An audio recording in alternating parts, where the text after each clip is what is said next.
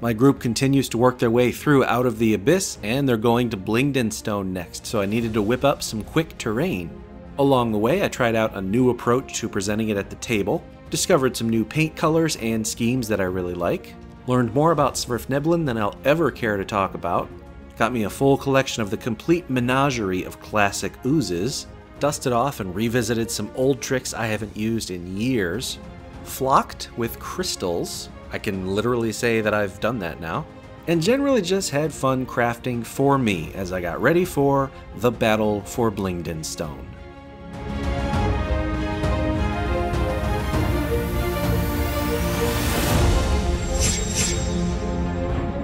Hello everyone, Wyloch here. Thank you for joining me. Got some prerequisite viewing for you today. If you haven't heard of Dungeon Craft on YouTube, Professor Dungeon Master Dan gives us ultimate dungeon terrain. Something I had never thought about trying until now.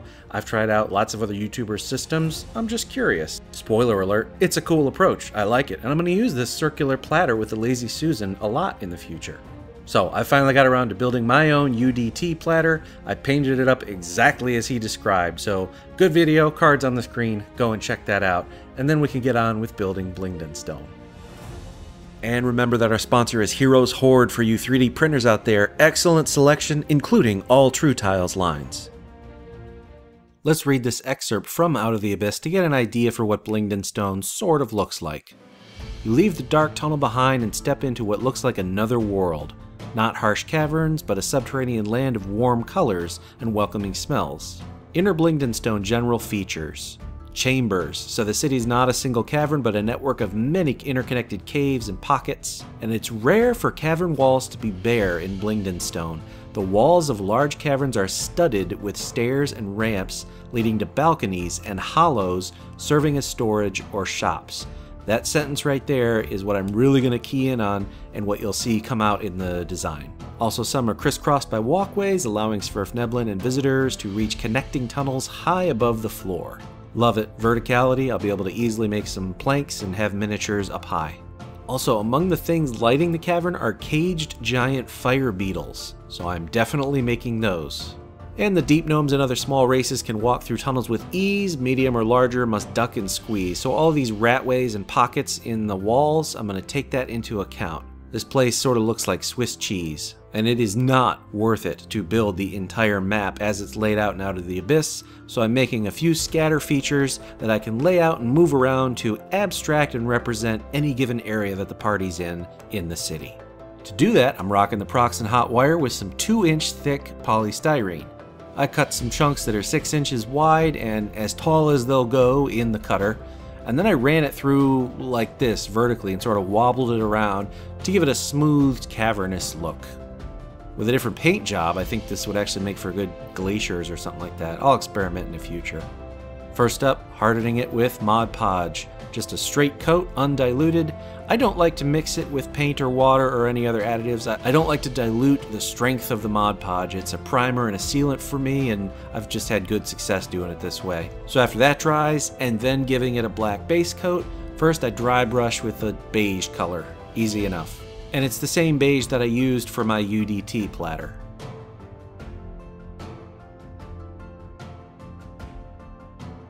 Likewise, a lighter dry brush to highlight with a lighter beige color. Again, the same one I used for the UDT platter. And continuing in that theme, these get a wash with black. This is like 10 parts water to 1 part black acrylic craft paint. Dries in about 15 minutes. But while it is drying, we're going to work on the wood. Now lately I've been doing wood a totally different way. I've got this color from folk art called asphaltum. Asphaltum? Hardly knew him. I'll show myself out. Anyway, with my craft wood products like popsicle sticks, wooden dowels, that sort of thing, I put on a diluted bit of this. It's not a wash, but it's just kind of watered down. Gets just one coat, not two, and it will look a bit orangey, which maybe you like. And in certain settings, I will just leave it at that, but we're going to come back to it later. Now the walls are studded with platforms and ramps and stuff. This is a mining community, right? So I gouge out the holes first, inject them with hot glue, and then stick in the, the pole or the plank or whatever it is that I'm attaching. A uh, little tip, Before you do ramps, make sure that your miniatures can stand on them. Here I am making a platform that juts out pretty far, connecting it underneath, and you'll see this one later in the summary. But mix it up, make no two alike. Put some steps, put some ramps, put some platforms, make it look chaotic. Now for those crawlways, those small tunnels, I'm using cereal box cardstock. Just cutting out a small, you know, the shape of the entrance to the sub cave, hot gluing it on, and basing it in black. Around the perimeter, I apply a heavy bead of white PVA glue and then chunk on some small pebbles. Just throw them on there, stick them down, dump off the excess. Ah, instant gratification. Oh yeah.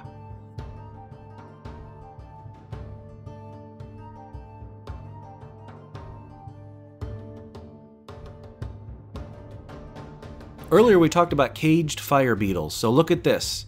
This is a hair curler from the dollar store. It was a dollar for like a pack of 20. So I cut this down, put on a bottom like with okay so i use chipboard i don't remember. I think i put a washer on there too. And then it gets primed and painted with gunmetal.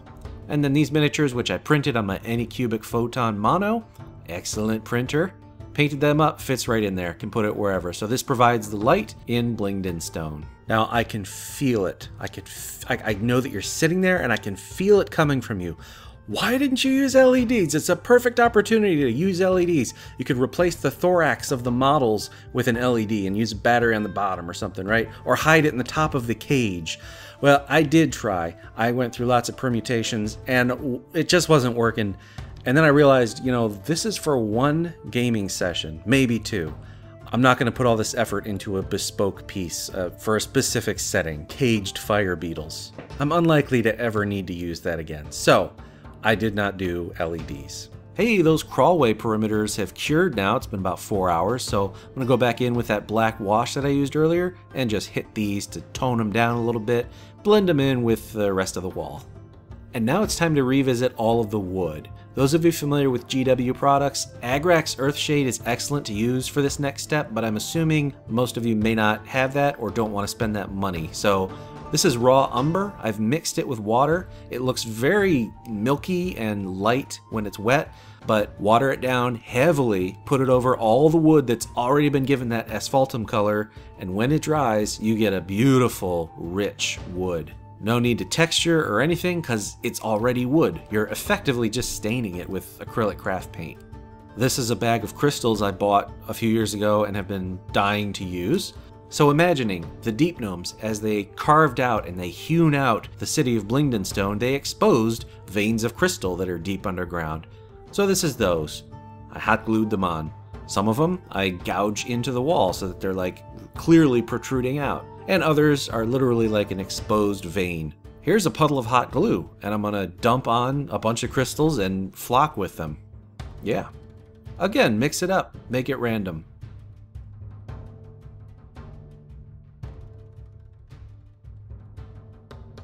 Now, at the end of the chapter in Out of the Abyss is the battle for Blingdenstone, and there's this table that describes the possible encounters as the party makes their way to the Pudding King. So, I made enough miniatures to be prepared for any combination of those table outcomes. This is a clear Lexan polycarbon sheet. This is not plexiglass, it behaves differently. It's easier to cut as well. So I scored it lightly to see if it would bend, and it does. So I know that this is going to be somehow the gelatinous cube. I scored out a grid of 2 inch lines, and then with a Tetris piece here, just fitted it together into a cube, secured it with hot glue on the inside, and then textured the outside. This is a trick as old as time, and of course you leave the bottom off so that you literally can go and subsume the miniature of the creature that it has engulfed. Nice. Don't tint it green. Gelatinous cubes are not green, they are clear. Ochre jellies, they are large, so they're on a large base. Vinyl coated paper clips, supergluing those down, and these are the armature for the tendrils. Blobs of hot glue and these hemispherical beads. Easy. Prime it and paint it. Done. Gray ooze. I've done these three or four times now on this channel, but for completeness, I'll do it again. Got an old GW Slotta base here and I'm using my Surebonder. Surebonder. Yes, my Surebonder Silver Hot Glue. It is so shimmery and reflective that the camera's having a hard time focusing here. Awesome stuff. Blingdenstone is a center of commerce between the surface world and the Underdark, so it makes sense to have lots of sacks and crates and stuff, so whip up some quick scatter terrain. Crates. Easy. I bought some wood cubes. I'm going to paint them up to look like crates. Storage sacks. These are glass beads, and they're the smaller kind. I'm going to use these, plus some crafting string or twine, whatever, and some paper towel. And here's how it's done. First with some brown paint, I'm gonna colorize the rope, because if we just khaki-ify everything, it's just gonna be khaki overload. Now here's a bit of paper towel, and basically we're gonna wrap up this glass bead. It gives the shape and the weight. So I mix up some white glue and beige paint, just set it in there, and then bunch it up around the glass bead and sort of give it a little bit of a twist. I want to let this play for a moment so you can just see how it's done.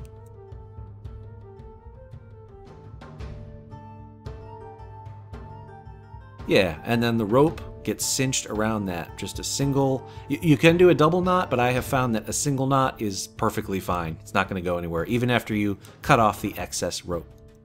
So once that's done, I got my big kitchen shears here, cutting off the excess paper towel, and there we go. Little touch up with more of that beige and white glue, but this storage sack is done. So here in front are some shield dwarves from the Emerald Enclave who have joined the party. And look at the filth coming down this corridor. All I've done is use my wall pieces backwards. So anywhere that's not a cavern or a storeroom, that's a hallway, just turn them around. And like the text says, we have some crisscrossing walkways up high. Here's the Pudding King, who I've painted in all the colors of my oozes. It's a nasty little bugger. Like, truly nasty. And we have a couple glamour shots here of this battle. Now, maybe this is what it looks like to you. Um, I think the book has it take place in a defiled temple, but eh, whatever. Maybe the Pudding King marched with his army because the players didn't act in time.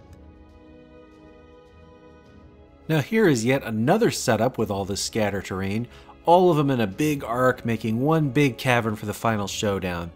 And the Pudding King, somehow, somehow that model stays on the ramp. I, I don't know. And as always, you gotta love that gimmick of a functional gelatinous cube. You'll also notice that I have some smaller ochre jellies and black puddings. I actually have two smaller sizes, a medium and a small, because those can split when they take the right amount of damage.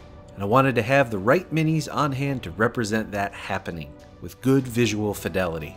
And here's just a view from the Pudding King's vantage. The players would be coming in from abstracted, from a corridor or another room from over there, wherever it may be. That's part of the whole mantra, the whole idea behind Ultimate Dungeon Terrain. Again, go and watch Dungeon Craft.